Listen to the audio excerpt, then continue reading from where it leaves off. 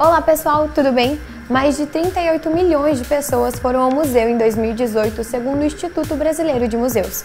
Nas visitas aos centros culturais, é possível conhecer diferentes obras e artistas, além de ter uma visão crítica sobre o mundo. Por isso, a ida de crianças a esse meio cultural pode ser uma forma de aprender se divertindo.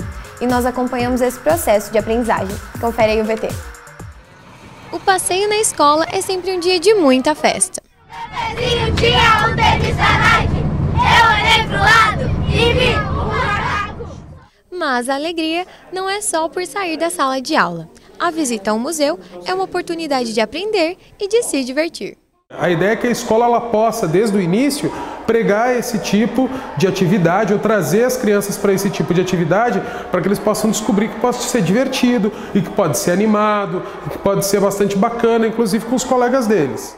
Os educadores acreditam que o papel deles é abrir horizontes para os alunos e explorar a diversidade que existe fora da escola. O conhecimento ele está na escola, mas ele também proporciona para que você fora da escola vá conhecer outras formas de pensar. No Brasil, são mais de 3 mil museus. Só em Curitiba são 74.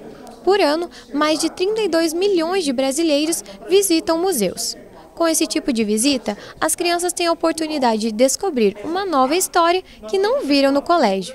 Educação não formal, mas que vai é, fazer com que essa criança tenha uma educação é, perto de um âmbito realmente mais acadêmico. A ida ao museu pode ser uma forma de despertar a visão crítica dos estudantes. Aqui a gente consegue ver as provas, né, as coisas vivas, e na escola a gente só pode ouvir o professor falar, não pode ver realmente o que é. O museu é um espaço de educação não formal, onde as crianças conseguem ver o que aprendem no colégio.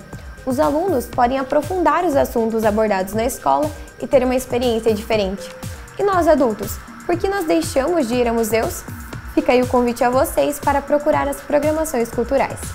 Esse foi o P de hoje. Até a próxima. Tchau, tchau!